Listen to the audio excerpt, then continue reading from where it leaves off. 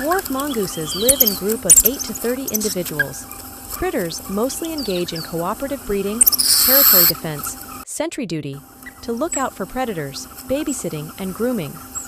Their symbiotic relationship with Hornbill is highly remarkable in the animal kingdom.